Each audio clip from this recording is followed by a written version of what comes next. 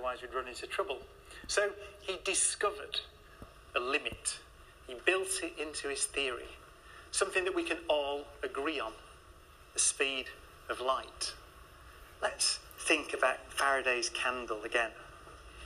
If there wasn't a roof on this lecture theatre, then this would be sending out light into the universe, an expanding sphere of light travelling outwards at 300,000 kilometres per second. In one and a half seconds, it had passed by the moon. In eight minutes, it had speed past the sun. And in around 100,000 years, it would completely clear the Milky Way galaxy. Now, I can draw this onto my map. So this is here and now in this lecture theatre at the Royal Institution. So I can draw a line on my map that represents the trajectory of a beam of light through space-time. Of course, it expands in all directions.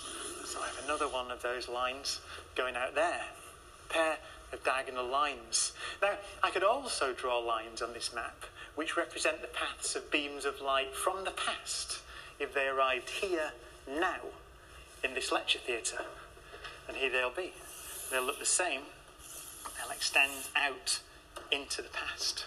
Now, we all agree on these lines because we all agree on the speed of light. So they must be important in some way.